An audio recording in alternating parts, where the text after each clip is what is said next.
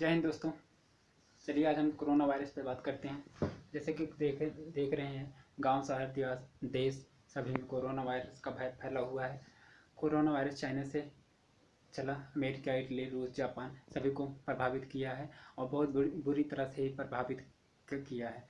और भारत इससे बचा नहीं है, यहाँ वायरस का प्रकोप बढ़ ही रहा है। चलिए देखते हैं कोरोना वायरस से कैसे बचा जाता है और कैसे इसको हम रोक सकते हैं। कोरोना वायरस को हम अपने दोस्तों से और भीड़ भाड़ के जगह से बचें, थोड़ा दूर रहें और एक मीटर के, व्यक्तियों से एक मीटर की दूरी बनाए रखें। अपने हाथों को कंटिन्यू साबुन से धोते रहें और साफ़ सफ़ाई का विशेष ध्यान दें। इस समय बाहर का खाना न खाएँ।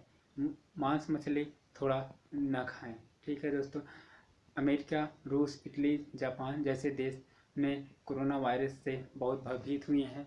अब वहाँ पर डॉक्टरों की संख्या, अस्पतालों की संख्या इंडिया से बहुत बेहतर है।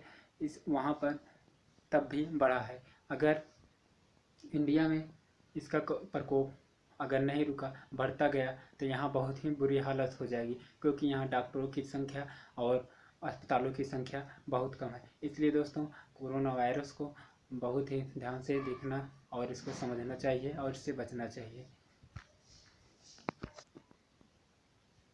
हमारे देश में युवा बहुत ज़्यादा हैं और देश सेवा करने के लिए तत्पर रहते हैं। देश सेवा बॉर्डर पे ही नहीं किया जाता है और अंदर हम अपने देश में अंदर रह कर भी देश सेवा कर सकते हैं।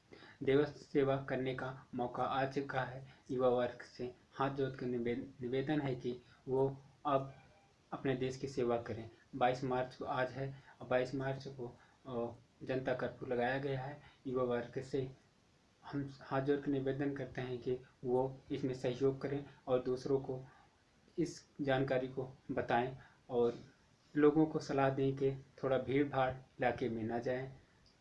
ठीक है दोस्तों, चलिए, धन्यवाद।